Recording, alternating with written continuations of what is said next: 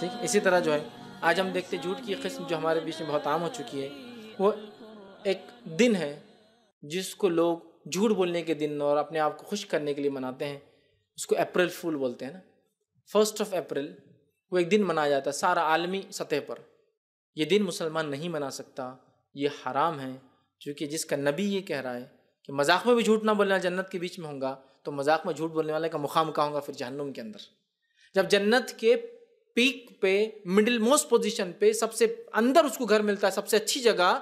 تو جب وہ مذاق میں جھوٹ بولیں گا تو اس کو جہنم میں کہاں گھر ملیں گا؟ یہ بھی ہم سمجھ سکتے ہیں۔ نعمت کا ثواب جیسا ہوتا ہے تو عذاب بھی ویسا ہے اس کا پھر۔ اپریل فول سب منا رہے کوئی مستثنا نہیں۔ بلکہ اس کو کبھی کبھار تو جو نہیں منائے اس کو بے خوف سمجھا جاتا ہے۔ تو خود ایک پھول ہے بولے اپریل کو پھول نہیں مناتا۔ جھوٹ۔ ارے دیکھو، کوا اڑا نہیں ہاں, ہاں، اپریل فول ارے دیکھو کتنا بڑا ہاتھی آ گیا سڑک پہ، اپریل فول آج اپریل جھوٹ بولنا ضروری، جھوٹ بول کے ہنسانا۔ تو آپ سلم جھوٹ سے منع کر رہے ہیں، مذاق میں بھی اور یہاں کے دن ہے اور مسلمان دھڑلے سے منا رہا ہے۔ کل میں آپ کو آفس سے نکال دے رہا ہوں جاب سے۔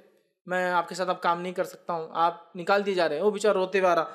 میرے کو آج مل گیا کہ میرے کو نکال دینے والے۔ کل وہ ہنس رہا ہاں ہاں, ہاں، اپریل فول چپ چپ دے دیے تم کو ہے سامنے۔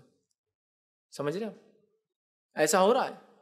مسلمان مذاق میں بھی جھوٹ نہیں بولتا، یہ اپریل فول جیسی گھٹیا چیز مسلمان منا ہی نہیں سکتا، اس لیے کہ مسلمان تو مذاق میں بھی جھوٹ نہیں بولتا ہے اور مذاق میں جھوٹ نہ بول کے جنت کے بیچ میں اپنے نبی کی ضمانت کے ذریعے انشاءاللہ جنت میں پہنچائیں گا۔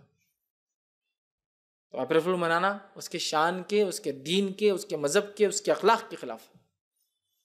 تو ایسے گندے اور گھٹیا رسومات سے اپنے نفس کو ہم جو ہے بچائیں۔ تو مذاق میں بھی ہم جھوٹ نہ بولیں۔ اسی طرح جو ہے السلام علیکم ورحمۃ اللہ وبرکاتہ۔ ناظرین، اگر آپ کو اس ویڈیو سے کچھ فائدہ ہوا ہے اور آپ سمجھتے ہیں دوسرے بھی اس سے فائدہ اٹھائیں گے، تو آپ ضرور ہمارا تعاون کریں اپنی زکوٰۃ و صدقات کے ذریعے۔